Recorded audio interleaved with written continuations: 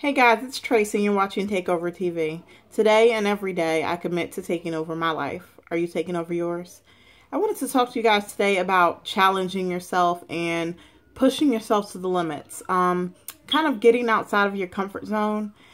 I feel like unless you're challenging yourself and pushing yourself, you're never really going to go anywhere. Sometimes I think we believe we're doing okay. Um, because we're comfortable and, and we're doing what we, we think that we should be doing.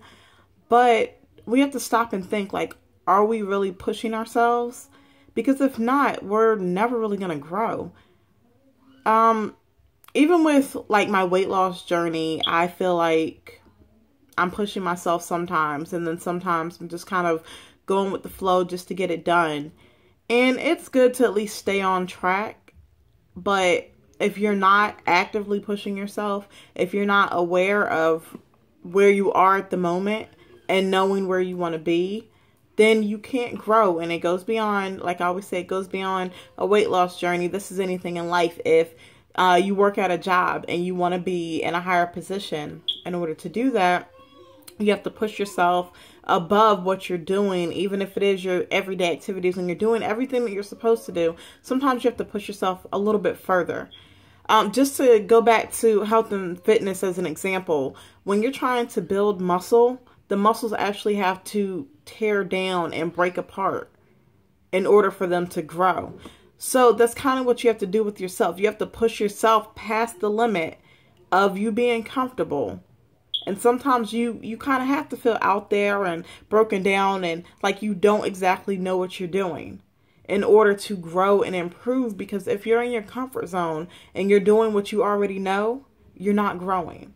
So every day, I think we should all commit to taking a step in the right direction, taking a step further in order to improve ourselves. It doesn't have to be a drastic leap every day, but if you commit to pushing yourself every day, then you're able to go a little bit further and you're able to grow stronger in anything that you want to do, whether it be weight loss, whether it be a, a, personal goal of yours to something I'm doing now is to drink more water.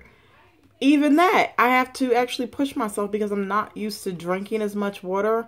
So it kind of gets uncomfortable. Your your stomach is uh, extremely full. You have to keep running to the bathroom, and it's to the point where it's uncomfortable. But if I know that I need to drink more water in order to be healthy and to be at the level that I need to be at with my health and fitness, then that's something that I have to do. So it could be something as small as that. And then you can just progressively get um, deeper with your goals. You can keep pushing forward to do more with your goals. You can start small and then see where you want to go. But I mean, the moral of the story is like push yourself and go as far as you can go because at the end of the road, when you get there, it'll really be worth it. You'll be proud of yourself and you'll know that you deserve whatever you were going to get because you worked for it. It wasn't just something that just came by randomly and something good that happened to you. No, you worked for it and you appreciate what you've gotten because you put in the work. So every day, guys, try to make a commitment to push yourselves and to grow. You can leave a comment down below and let me know what you do to push yourself every day. Uh, what you've done to push yourself and how it makes you feel afterwards.